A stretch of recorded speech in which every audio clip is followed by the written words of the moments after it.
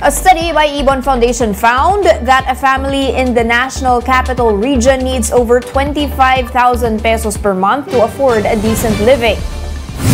According to Ibon Foundation, a family of five would need more than 1,100 pesos for their daily expenses. This is far from the current minimum wage of 570 pesos in the capital. And factoring inflation, Ibon Foundation says the current minimum wage in Metro Manila is only now worth 482 pesos.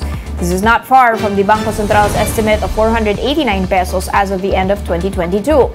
Meanwhile, data from the Philippine Statistics Authority found that inflation for the bottom 30% income households across the country rose to 9.7% in January year on year from 9.4% in December of 2022.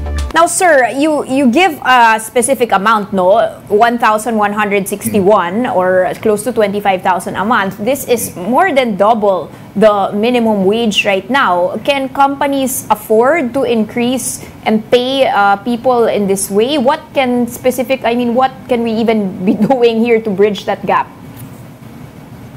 Um, again, there's such a problem with not having enough high frequency data. But to take an example, using the most recent um, establishment data of the government from 2020 at the height of the pandemic, actually a 300 or more peso wage hike could be afforded by medium and large enterprises with maybe okay. about a 25 to 30 percent cut in their profits. It's only micro enterprises that would have difficulty given that wage hike. So I think um, we don't know how things have developed since 2020, but if that was the worst of it, and if we hold on to government claims that things are improving in the last couple of years of reopening, then presumably a much higher wage hike is actually affordable right now.